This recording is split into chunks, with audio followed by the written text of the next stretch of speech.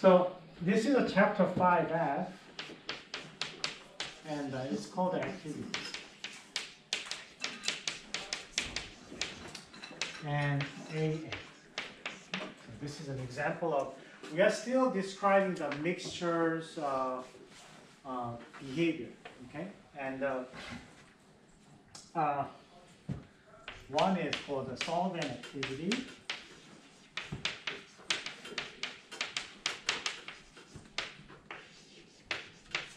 Okay, so AA. So I'm going to write this in. Chemical potential of A in a mixture, chemical potential of A in the pure state.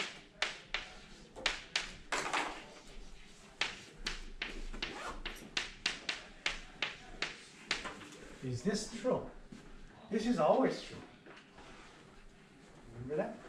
Okay.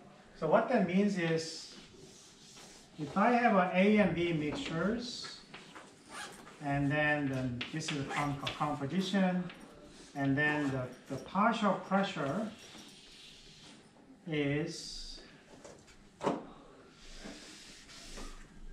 and this is your PA star, and this is a case of something that follows a Raoult's law. I'm going to write PA here, just a PA only, because all these are mixtures. And in many cases, things are like this. Right? And that's their, their PA behavior. And I'm going to put this one as a dotted line. That's sort of your guidance line, which is following the PA star times x is PA. So this is a PA the following the Raoult's law. So this is a true, okay? And then what we have done is our first version on this is mu A. And you probably have seen this one, people just naturally extend this to do, to do this. And this is uh, assuming that this is a Raoult's law, following the law, ideal solutions, and so on. So we are using this notation XA as a portion that as a, as a portion that so this is a what, what's the beauty of XA is XA is something that I can I know what it is. Right? I know exactly. I mean that this is a mole fraction the liquid and I'm just, in a way, hoping that this is has something to do with vapor pressure differences in the mixtures in the pure state. So think about the, I'm in the pure A. Once again, this is the same, same idea here. The pure B. And so this is not pure B, it's an A and B mixtures. Right, so this here is an everything is an A. Some of A will escape. They ended up in a gas. and they exercising the PA stars their vapor pressures. So this is how much one that they want to be in a way. Try to think about they are they are they are, they want to kind of escape. They are how active they want to be to explore a new area. So now you are you are surrounded, you are making a contact with something else. In most cases, this one is true when you are dealing with something that is uh, uh, A rich, start to have a A start to come out, B start to come out, and you make up the base, uh, the vapors. And there's exercise the partial vapor pressure, partial vapor pressures. And this is what it's sort of the, the this this number itself representing how much of this one A wants to be feeling the interaction between the surrounding and they want to be thrown into the other side. And that's the ideal solution. And this, but this one is is good because of the XA is something that I know what it is, but it's not good because this equation doesn't is not always true.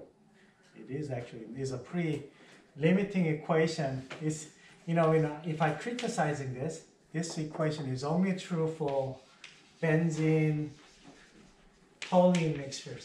How about that? It will not work anything else. Do you think it's a good law, a good equation? It's not. It is not. And so, so, but this framework is very useful, and so uh, this is a good starting point. So what people think about is, well, can I just say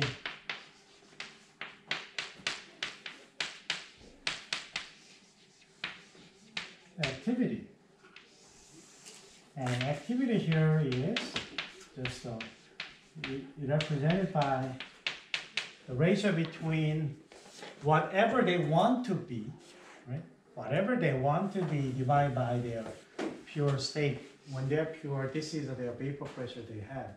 So it's just a sort of the word play between the substituting the mole fraction into the activity activity which is which is a AA.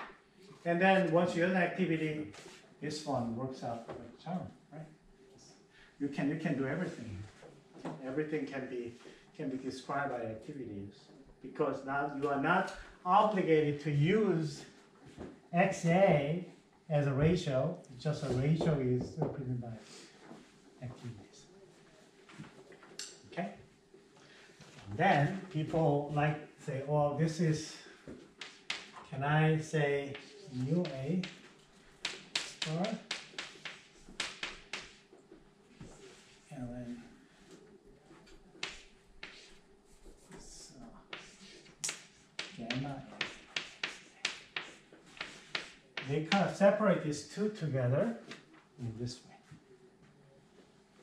So what that means is activity is an activity coefficient times x this constant before XA is trying to actually, the most popular one is actually activity constant.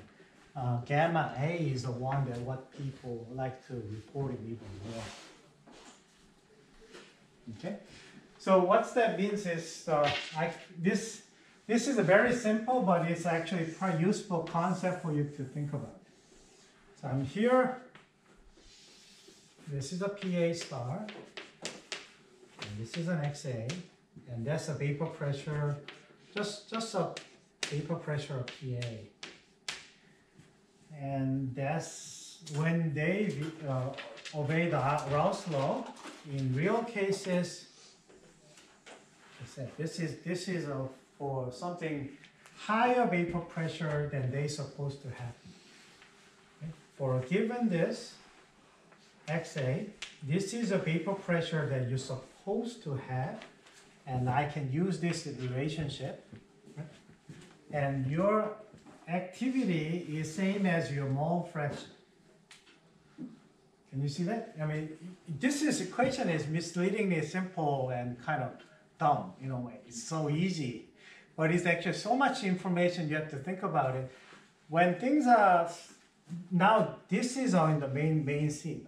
This is uh, this is uh, generally true, but this is a sort of a philosophical statement.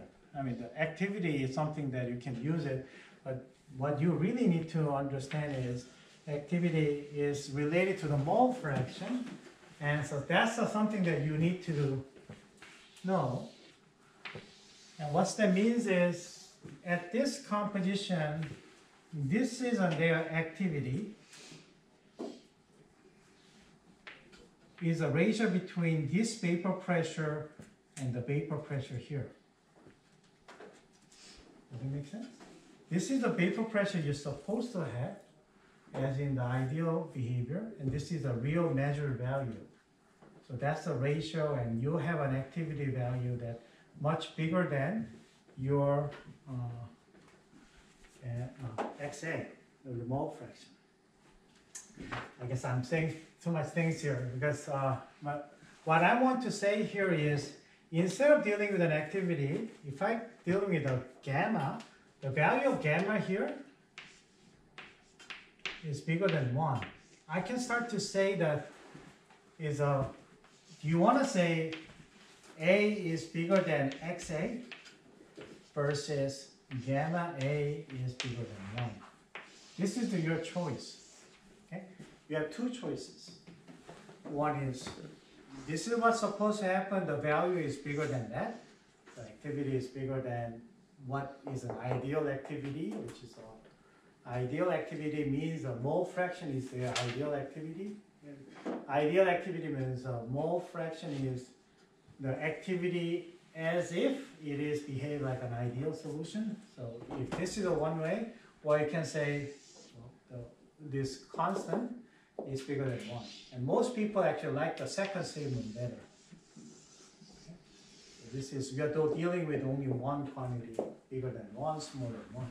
Some of the cases you have something looks like this. The vapor pressure is lower than what what is supposed to have is as an ideal solution. This is a case gamma A is lower than one. Okay? And this is not so common. You know what that means is A and B like it so much. A do not escape from the liquid phase, the vapor phase, as much they wanted to do in the pure liquid. When they are you know bound together by the more attractive B, they cannot escape that much. Right? So this is case is not so common. Most likely that they have a, this positive deviation. And then their gamma constant is bigger than one. Or activity is bigger than X value. This is your reference point. So people do not deal with a moving target, right? With bigger than one. So I mean this is I like this way better. Mu this this value is bigger than one. This is a more fixed value.